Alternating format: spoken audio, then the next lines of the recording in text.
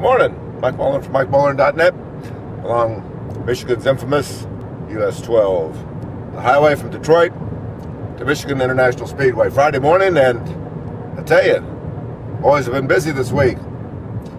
Jeff Gordon promoting the race in Sonoma, Tony Stewart promoting the race in Watkins Glen. I wonder how he fit into that Formula One car that Lewis Hamilton brought down from Montreal for him to run around that, that track.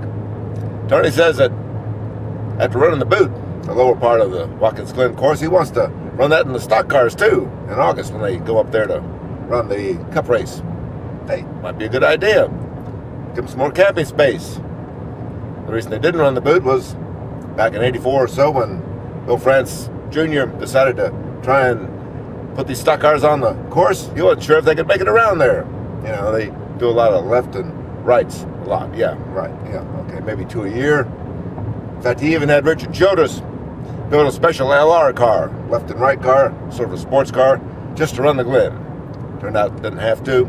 These guys figured out how to make it work. In fact, they can even run Sonoma. And you talk about a technical road course, that's Sonoma.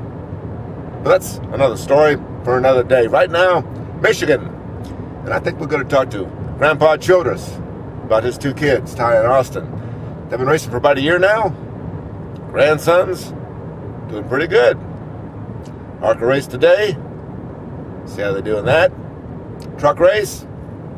Been doing pretty good in that. Up at Pocono, did pretty good.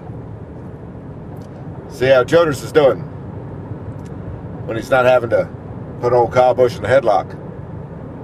Friday morning, and Tony Stewart, Jeff Gordon, those are the guys I'm watching for. Qualifying doesn't mean much. It's going to be Saturday. Up here, the track's so big and wide and comfortable.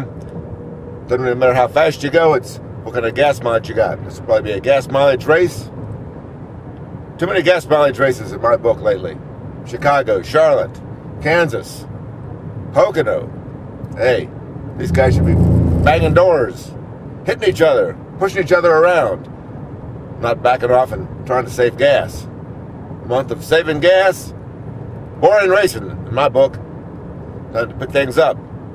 I want somebody out there yelling and screaming and pushing and shoving and shouting. Wonder if we'll get that today. Pretty sure we'll get that to Sonoma next week. We'll see. Friday morning, Mike Mulhern from MikeMulhern.net on the way to Michigan International Speedway.